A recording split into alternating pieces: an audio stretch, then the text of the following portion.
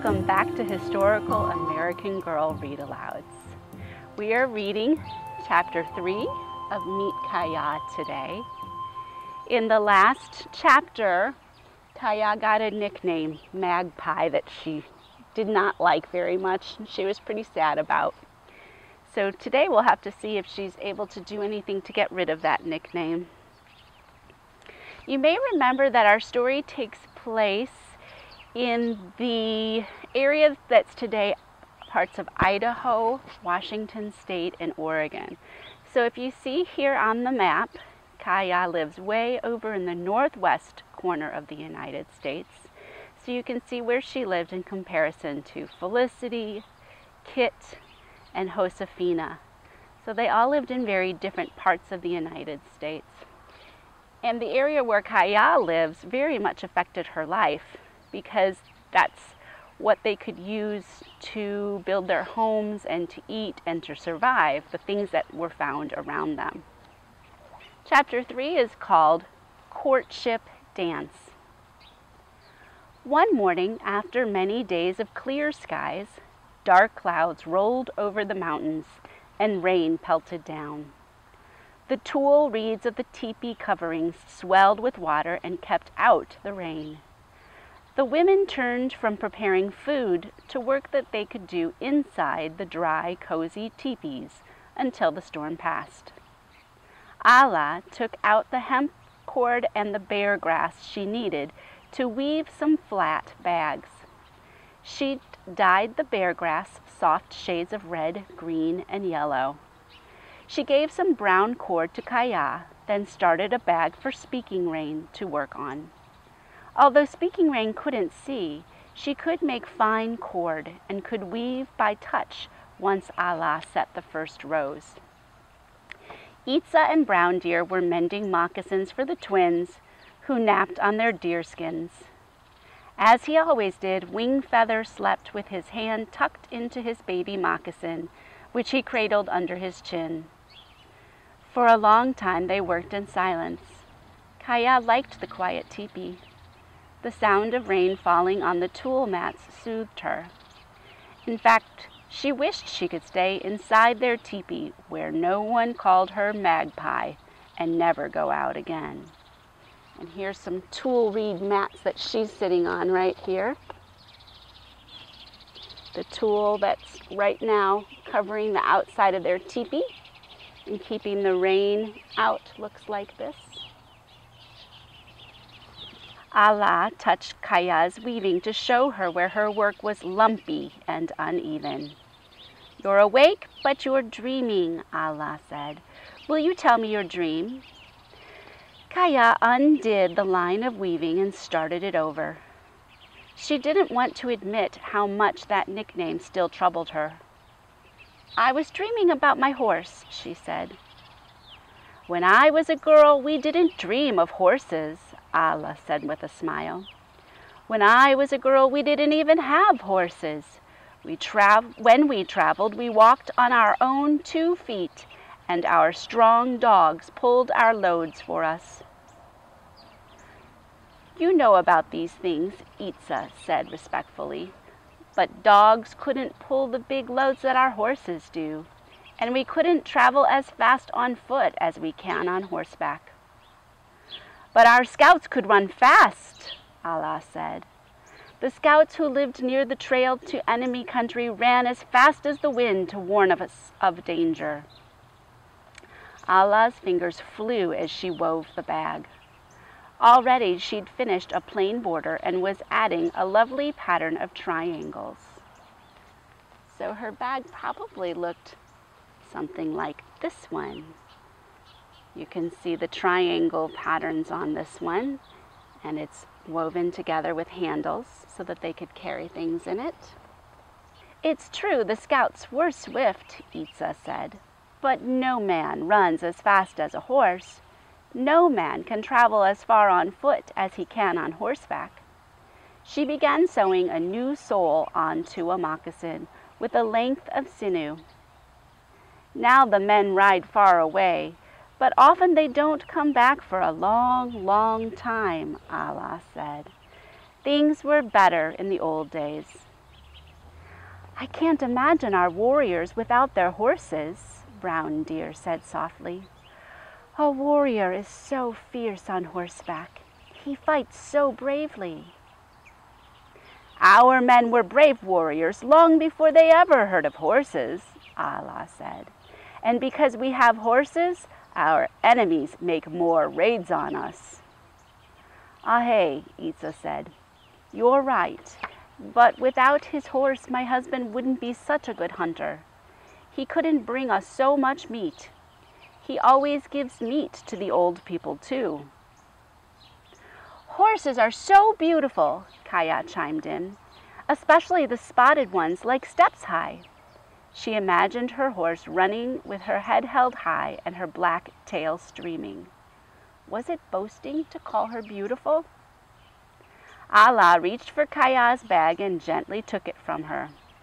When Aalah put the tip of her finger through a hole in a loose row, Kaya realized that she hadn't made the weaving tight enough. She began to unravel her work so that she could make it better. Aalah, you've often said we need horses for many things, Brown Deer said. Aalah sighed deeply. I've said so, and it's true, she said. The old days are gone. We can't unravel our lives and begin them again, as Kaya is doing with her weaving. She put down her work and placed her hands on her knees. I want you to listen to me. I'm going to tell you something. Kaya and Speaking Rain laid down their weaving at once. Eetsa and Brown Deer stopped sewing. When Aalah spoke like that, she wanted their attention. I've lived a long time, and I remember many things, Aalah said. Isn't that so? Eetsa and Brown Deer nodded. Ahe, Kaya and Speaking Rain said. One thing I remember is the time of terrible sickness, Aalah said. Traders told us about strangers with pale, hairy faces who rode from far away to trade at the big river. With the strangers on horses came a sickness of fevers and blisters, a sickness we've never known before. My people never saw the strangers with pale faces, but their sickness came to us anyway. Many, many people sickened and died. The most powerful medicine man had no medicine to cure this new sickness. Aalah was quiet for a while, gazing into space. Then she ran her hands across her cheeks. You see these pockmarks on my face, she said. I was one who got the sickness. My own mother died of it. I've told you that too. These pockmarks remind me how few of us survived. They remind me that not just good things came into our lives with the horses but the marks also remind me to be strong and help others. Kaya looked at Aalah's solemn face. She knew Aalah was thinking about the bad times in the past. Kaya was ashamed to be worrying about an unpleasant nickname when so much suffering had come to others. Would difficult times like the sickness come again to the Nimiipuu? We've talked enough of that, Aalah said. It's time to go back to work. Kaya began her weaving again, making each twist of cord as firm and as tight as possible. When she grew up, she wanted to be a wise, strong woman like Aalah. So Aalah was talking about the time before the Nimiipuu had horses. They didn't always have them, and they had many ways of life that worked for them at that time. But then white people introduced horses to the United States, and eventually they got all the way to the west coast or the northwest region where the Nimiipuu were, and they started to raise horses. The Nimiipuu became known as a tribe who bred great strong horses, and that became one of the things that they were especially famous for.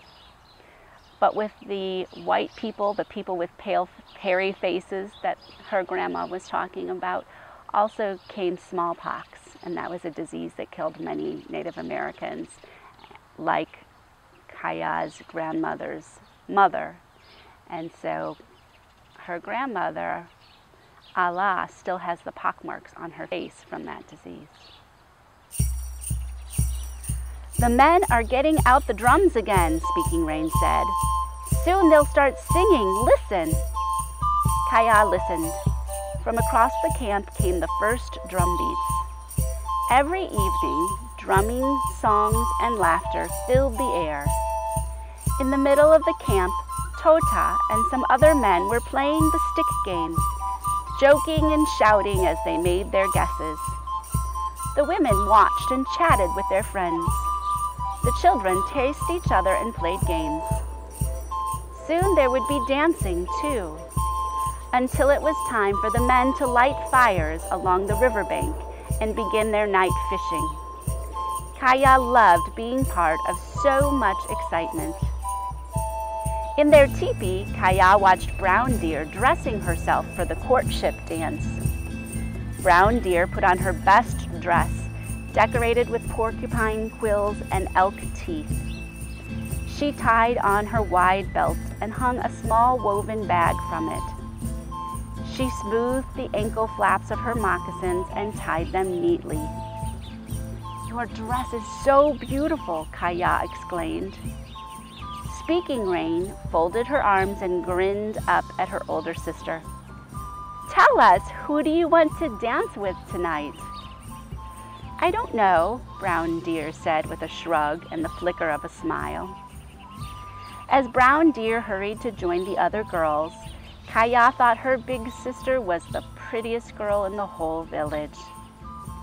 Kaya and Speaking Rain followed her out of the teepee in the light of the rising moon, the twins were dancing, hopping about, and bobbing their heads like quail. Wingfeather beat two sticks together. Sparrow turned around and around until he was dizzy and fell to his knees. Kaya was too young to join the courtship dance, but the drum beats and singing made her want to whirl around and around like Sparrow. They made her want to beat the rhythm like wing feather. As Kaya listened, she practiced dancing by taking small steps, moving in place. Who could resist the drums? On one side of the clearing, the older girls began to form a circle. The older boys formed a circle around the girls for the courtship dance. In this dance, a boy tried to dance beside the girl he liked best. If a girl let him stay by her side, that meant she liked him best too. Most families decided who would marry whom, but some paid attention to the choices of the dancers in the courtship dance. Brown deer's dancing near us, Kaya whispered to Speaking Rain. Is she looking at any special boy? Speaking Rain asked. She looks at all the boys but one, Kaya said. She never looks at Cut Cheek. Cut Cheek was slim and strong. He was a good hunter and a good dancer, too. The scar on his cheek only made him better looking, Kaya thought. She'd often seen him glance at Brown Deer as he danced, but Brown Deer never returned his gaze. When Cut Cheek comes near, Brown Deer looks at her moccasins, Kaya said. I don't think she likes him at all. Speaking Rain giggled. Kaya, you're foolish, she said. If Brown Deer can't bring herself to look at Cut Cheek, that means she really likes him. But how will he know she likes him if she never looks at him? Kaya wondered. He'll know, Speaking Rain said. All the young men and women were in the circle now. When the drum beats changed, the boys and girls danced slowly forward toward each other. The long fringes on the girls' dresses rippled and swung as the girls moved. The drums seemed to be saying, Come dance with me, dance with me. With exciting music like this, how could the dancers keep their steps so steady and even? Where's Cut Cheek dancing? Speaking Rain asked. He's on the other side of the circle, Kaya said. I don't think he'll be able to get near Brown Deer. The dancers moved closer to each other, then away, then close again. The next time they were close, a boy eased himself out of his line and placed a stick on a girl's right shoulder. She kept the stick on her shoulder and made room for him by her side. Now they danced as a couple. The dancers moved toward each other again. As they advanced, Cut Cheek managed to move past the boy next to him. Now he was almost in front of Brown Deer. She held her chin high and looked straight ahead. She made the fringe on her dress snap with each graceful step. What's happening now? Speaking Rain demanded. Cut Cheek keeps moving closer to Brown Deer, Kaya said. Again, the dancers moved forward. The boy called Jumps Back moved opposite Brown Deer. He was short with broad shoulders. Although he often liked to tease the girls, now he looked very serious. When Brown Deer danced close to him, Jumps Back stepped beside her and placed his stick on her shoulder. With a shrug, she knocked the stick off. Jumps Back bent to pick up his stick, and Cut Cheek moved into his place. Now he was opposite Brown Deer. Brown Deer just turned down Jumps Back, Kaya told Speaking Rain. Cut Cheek is right in front of her, but she's looking past him as if she doesn't know he's there. Oh, she knows he's there, Speaking Rain giggled. The next time the dancers were close, Cut Cheek left the boy's line. His dark face was gleaming. He stepped next to Brown Deer and placed his stick on her shoulder. Blushing, she took a deep breath as if she were about to dive into deep water. She let his stick stay on her shoulder, and they danced now side by side. She chose Cut Cheek, Kaya said. She didn't hesitate for a moment. The run of salmon up the river was coming to an end. Many, many salmon had given themselves to Nimiipuu. The women had packed the dried salmon into large woven bag and parfleches made of rawhide. Now they were packing up their belongings as well. Soon the women would roll up the tule mat coverings of the teepees and take down the teepee poles. They would put everything they owned on their horses and the travois and set out. It was time to move higher into the mountains so that the women could pick huckleberries and the men could hunt for elk and deer. Kaya and her family would be part of the group traveling back to Salmon River country. Aalah called Kaya to her. She looked worried. I think I left my knife where we were working yesterday, Aalah said. I'll go look carefully, Kaya said. Kaya already had a rope bit on Steps High. She'd been riding her horse every day, keeping her tightly reined in and held to a trot. Steps High hadn't once tried to buck off Kaya. But Kaya hadn't yet asked Tota if it was safe to run her horse again. May I come with you, Kaya? Speaking Rain asked. Kaya gave Speaking Rain her hand and pulled her sister up onto the horse to sit behind her. Riding bareback, they trotted away from the camp. At the river, they passed Tota and a few other men fishing for the last of the salmon. As the men speared fish, Foxtail and some other boys put the salmon into baskets. Tota stood on the bank with his back to the sun. He had placed a large white stone in the current where the river was shallow. When a fish swam between the white stone and Tota, he could see its outline and spear it. Downstream, where the river was deeper, Aalah had been cleaning fish on the bank the day before. Kaya reined in steps high. I'll start searching a little way down the path and make my way back to you, Kaya told Speaking Rain. Wait here to mark where I start my search. Speaking Rain slipped off Steps High. As Kaya rode on down the path, she looked for her grandmother's knife. Steps High was tense and skittish. She shied at a garter snake crossing the path, but Kaya steadied her. When Steps High shied a second time, Kaya reined her in. What's the matter, girl? Kaya said. What's spooking you?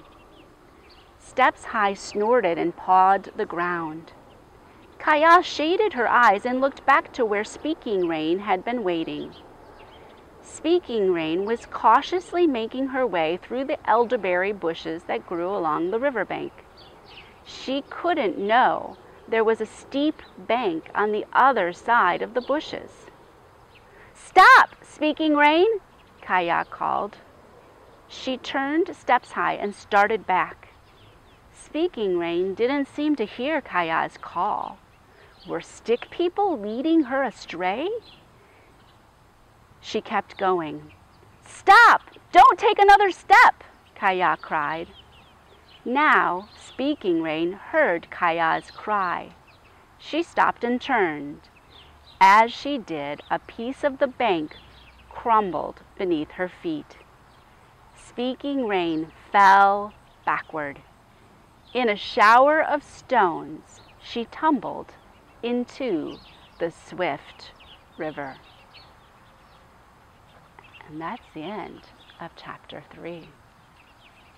Wow. A tense time to stop.